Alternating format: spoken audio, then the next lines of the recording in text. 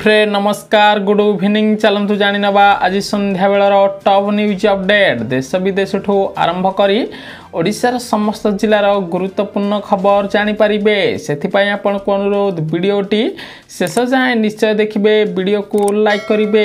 ଯାହାଦ୍ୱାରା ଆଜି ସନ୍ଧ୍ୟାବେଳର top news update ଜାଣିପାରିବେ। ପ୍ରତି ଖବର ନବୀନ ସରକାରଙ୍କ ବଡ଼ ନିଷ୍ପତ୍ତି ଚାକିରିରୁ ବିଦା ହେବେ ରାଜ୍ୟର দুর্নীতিগ্রস্ত যন্ত্রী এনে প্রথম পর্যায়ে শহে তেনবে জনক নাম তালিকা প্রস্তুত হয়েছি। সেপটে আসন্তা বর্ষ মার্চ একত্রিশ তারিখ সুদ্ধা যেউমানকর বয়স পচাশ ও পঞ্চাবন মধ্যে হয়েছিল ও তিরিশ বর্ষর অধিক কাল চাকরি করে সেই যন্ত্রী চের কটাযিব বলে খবর মিছে প্রতি খবর ওড়শার প্রতিষ্ঠা হওয়া যাচ্ছি চৌদটি নূয় সাইবর থানা নূয় বর্ষরে ଏନେଇ ବିଧିବଦ୍ଧ ଘୋଷଣା ହୋଇପାରେ ବୋଲି ସୂଚନା ମିଳିଛି।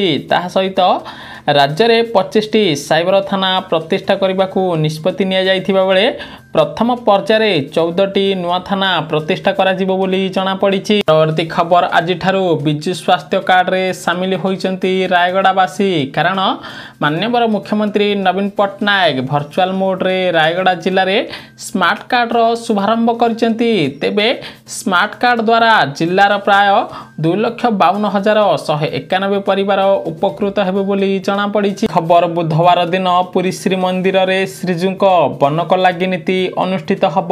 ଏଥିପାଇଁ ବୁଧବାର ଅପରାହ୍ନ ଚାରିଟାରୁ ରାତ୍ର ଆଠଟା ପର୍ଯ୍ୟନ୍ତ ସାଧାରଣ ଦର୍ଶନ ବନ୍ଦ ରହିବ ବୋଲି ପୁରୀ ପ୍ରଶାସନ ପକ୍ଷରୁ ସୂଚନା ଦିଆଯାଇଛି। ପରବର୍ତ୍ତୀ ଖବର ମହଙ୍ଗା ମୋବାଇଲ ସେବା ଏୟାରଟେଲ୍ ପରେ ପ୍ରିପେଡ୍ ସେବା ଦର ବୃଦ୍ଧି କଲା ଭୋଡାଫୋନ୍ ଆଇଡିଆ। ସୂଚନା ଅନୁସାରେ ଭୋଡାଫୋନ୍ ଆଇଡିଆ ଗ୍ରାହକଙ୍କୁ ଲାଗିଛି ବଡ଼ ଝଟକା। କାରଣ ପ୍ରିପେଡ୍ ଶୁଳ୍କ ହାରକୁ ପଚିଶ ପ୍ରତିଶତ ବୃଦ୍ଧି କରିଛି କମ୍ପାନୀ ଫଳରେ ଅଣାଅଶୀ ଟଙ୍କାରେ ମିଳୁଥିବା ସେବା ଏବେ ଗୁରୁବାର ଠାରୁ ଅନେଶତ ଟଙ୍କା ହେବ ଯାହା ପଚିଶ ପ୍ରତିଶତ ବୃଦ୍ଧି ହେବ ବୋଲି ଜଣାପଡ଼ିଛି। ଖବର ଅଫଲାଇନ୍ ପରୀକ୍ଷାକୁ ବାତିଲ କରାଗଲା। ସୂଚନା ଅନୁସାରେ ବୁର୍ଲା ଭୀମସାରେ ବୃଦ୍ଧି ପାଇଲା କରୋନା ସଂକ୍ରମଣ ମାମଲା। ପ୍ରଥମ ବର୍ଷର ବାଇଶ ଜଣ ଏମ୍ ବି ବି ଏସ୍ ଛାତ୍ରୀ କରୋନା ପଜିଟିଭ୍ ଚିହ୍ନଟ ହୋଇଛନ୍ତି। ସେପଟେ ଆଜି ଆଉ ସାତ ଜଣଙ୍କ ନମୁନା କରୋନା ପଜିଟିଭ୍ ଆସିଥିବାର ଜଣାପଡ଼ିଛି।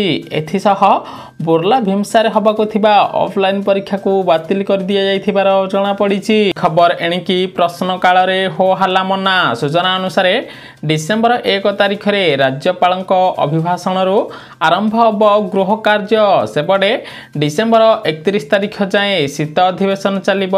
ଅଧିବେଶନରେ ଛବିଶଟି କାର୍ଯ୍ୟ ଦିବସ ରହିବ ବୋଲି ଜଣାପଡ଼ିଛି। ଖବର ଠିକା କର୍ମଚାରୀଙ୍କ ପାଇଁ ଆସିଲା ଖୁସି ଖବର ଠିକା ଡାଟା ଏଣ୍ଟ୍ରି ଅପରେଟରଙ୍କୁ ନିୟମିତ କରିବାକୁ ହାଇକୋର୍ଟଙ୍କ ତରଫରୁ ନିର୍ଦ୍ଦେଶ ଦିଆଯାଇଛି।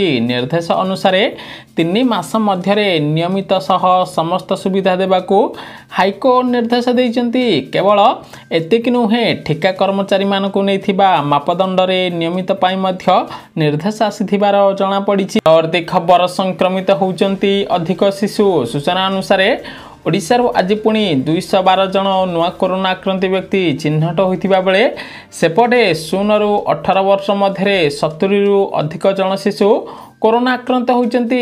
ତାହା ସହିତ ସଙ୍ଗରୋଧ କେନ୍ଦ୍ରରୁ ଶହେ ତେଇଶ ଜଣ ଚିହ୍ନଟ ହୋଇଥିବା ବେଳେ ସ୍ଥାନୀୟ ଅଞ୍ଚଳରୁ ଅଣାନବେ ଜଣ ଚିହ୍ନଟ ହୋଇଥିବାର ଖବର ମିଳିଛି। ପରବର୍ତ୍ତୀ ଖବର ପେନ୍ସନ୍ ଭୋଗୀଙ୍କ ପାଇଁ ଆସିଛି ବଡ଼ ଖବର। ଭାରତର ପେନ୍ସନ୍ ଭୋଗୀଙ୍କ ପାଇଁ ସବୁଠାରୁ ବଡ଼ ଡକୁମେଣ୍ଟ ହେଉଛି ଲାଇଫ୍ ସାର୍ଟିଫିକେଟ୍ ବା ଜୀବନ ପ୍ରମାଣପତ୍ର ନିୟମ ଅନୁସାରେ ସମସ୍ତ ପେନ୍ସନ୍ ଭୋଗୀମାନଙ୍କୁ ତିରିଶ ନଭେମ୍ବର ସୁଦ୍ଧା ନିଜର ଲାଇଫ୍ ସାର୍ଟିଫିକେଟ୍ ଜମା କରିବାକୁ ପଡ଼ିବ ଯଦି ଏପରି ନ ହୁଏ ତେବେ ଆପଣଙ୍କ ପେନ୍ସନ୍ ଅଟକିଯିବ ବୋଲି ଜଣାପଡ଼ିଛି ପ୍ରତି ଖବର ଓଡ଼ିଶାରେ ସ୍କୁଲ ଖୋଲିବା ପଡ଼ିଲା ମହଙ୍ଗା ଏକାଥରକେ ଛପନ ଜଣ ଛାତ୍ରୀ କରୋନା ପଜିଟିଭ୍ ହେଲେ ଗୋଟିଏ ସପ୍ତାହ ପାଇଁ ସ୍କୁଲ ବନ୍ଦ କରାଗଲା ସୂଚନା ଅନୁସାରେ ମହାମାରୀ କରୋନା ସଂକ୍ରମଣ ହ୍ରାସ ପାଇବା ପରେ ନବୀନ ସରକାର ରାଜ୍ୟରେ ସ୍କୁଲ କଲେଜ ଖୋଲିବା ଆରମ୍ଭ କରିଛନ୍ତି। ସେପଟେ ଆଜି ସୁନ୍ଦରଗଡ଼ ସହରର ଏକ ସରକାରୀ ବାଳିକା ଉଚ୍ଚ ବିଦ୍ୟାଳୟରେ ଛପନ ଜଣ ଛାତ୍ରୀ କରୋନା ସଂକ୍ରମିତ ହୋଇଛନ୍ତି।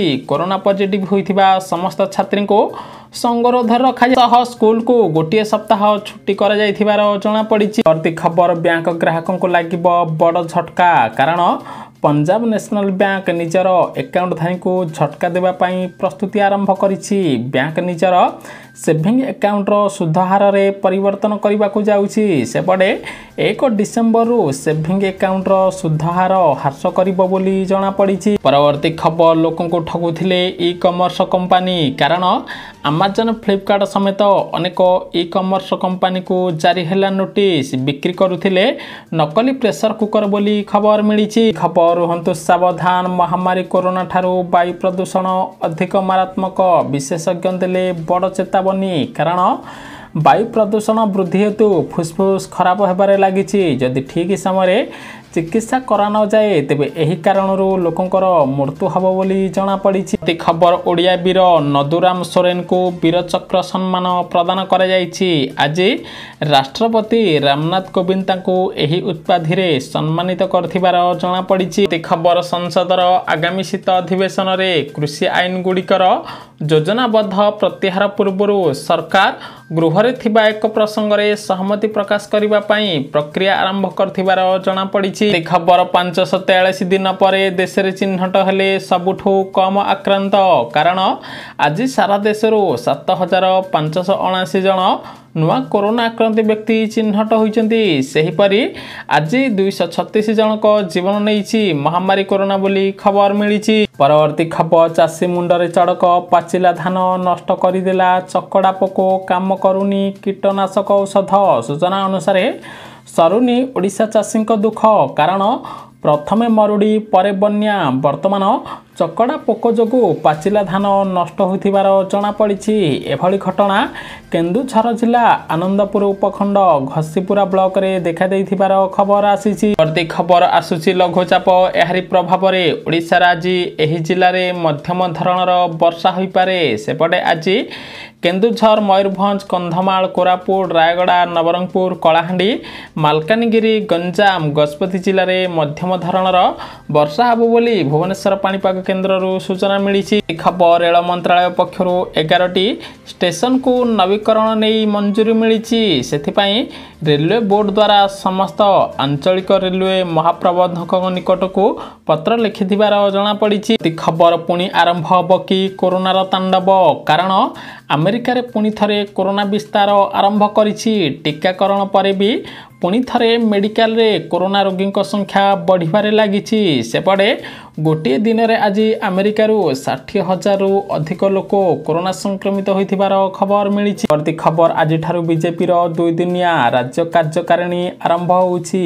ଏହି ଅବସରରେ ଦଳୀୟ କାର୍ଯ୍ୟାଳୟ ଓ ଭୁବନେଶ୍ୱର ଏକ ଘରୋଇ ହୋଟେଲରେ ବୈଠକ ଆୟୋଜିତ କରାଯିବ। କାରଣ ଆଗାମୀ ଦିନରେ ପଞ୍ଚାୟତ ଓ ପୌର ନିର୍ବାଚନ ଆସୁଥିବାରୁ ଓଡ଼ିଶାରେ ଅଧିକ ସିଟ୍ ହାସଲ କରିବାକୁ ବିଜେପି ଲକ୍ଷ୍ୟ ରଖିଥିବାର ଜଣାପଡ଼ିଛି। ଖବର ଗୁରୁବାର ଠାରୁ ଆରମ୍ଭ ହେବ। ଜୁନିୟର ପୁରୁଷ ହକି ବିଶ୍ୱକପ୍ କଳିଙ୍ଗ ଷ୍ଟାଡିୟମର ହକି ଗ୍ରାଉଣ୍ଡ ରଙ୍ଗ ବେରଙ୍ଗ ପୋଷ୍ଟରରେ ସଜେଇ ହୋଇଛି। ସେପଟେ ଷ୍ଟାଡିୟମ ଉପରେ ଫରଫର ହୋଇ ଉଡ଼ୁଛି ଷୋହଳଟି ଦେଶର ପତାକା ବୋଲି ଜଣାପଡ଼ିଛି। ପରବର୍ତ୍ତୀ ଖବର ବରିଷ୍ଠ ନାଗରିକଙ୍କୁ ଭଣ୍ଡାଉଛନ୍ତି ଓଡ଼ିଶା ସରକାର। ଅନ୍ୟ ରାଜ୍ୟରେ ଦୁଇ ହଜାର ଟଙ୍କା ମିଳୁଥିବା ବେଳେ ଓଡ଼ିଶାରେ ଭତ୍ତା ମାତ୍ର ପାଞ୍ଚଶହ ଟଙ୍କା ମିଳୁଛି। ସୂଚନା ଅନୁସାରେ ମଧୁବାବୁ ପେନ୍ସନ୍ ଯୋଜନାରେ ଓଡ଼ିଶାରେ ଅଠାବନ ଲକ୍ଷ ହିତାଧିକାରୀଙ୍କୁ ରାଜ୍ୟ ସରକାର ଭଣ୍ଡାଉଛନ୍ତି। କାରଣ ଦରଦାମ ବୃଦ୍ଧି ଯୋଗୁଁ ସରକାର ଦେଉଥିବା ସ୍ୱଳ୍ପ ଭତ୍ତାରେ ବୃଦ୍ଧ ବୃଦ୍ଧା ନିଜର ଖର୍ଚ୍ଚ ମେଣ୍ଟାଇ ପାରୁନାହାନ୍ତି। ସେପଟେ ଅନ୍ୟ ରାଜ୍ୟରେ ବୃଦ୍ଧ ଲୋକଙ୍କୁ ଦୁଇ ହଜାର ଟଙ୍କା ମିଳୁଥିବା ବେଳେ ଓଡ଼ିଶାରେ ମାତ୍ର ପାଞ୍ଚଶହ ଟଙ୍କା ଦିଆଯାଉଥିବାର ଜଣାପଡ଼ିଛି। ଯାହାକୁ ନେଇ ସରକାରଙ୍କୁ ଟାର୍ଗେଟ୍ କରିଛନ୍ତି। ଆଗାମୀ ଦିନରେ ଓଡ଼ିଶାରେ ମଧ୍ୟ ବାର୍ଦ୍ଧକ୍ୟ ଭତ୍ତା ଦୁଇ ହଜାର ଟଙ୍କା ମିଳିପାରେ ବୋଲି ଜଣାପଡ଼ିଛି। ଖବର ଅଟଳଙ୍କ ନାମରେ ନାମିତ ହେବ।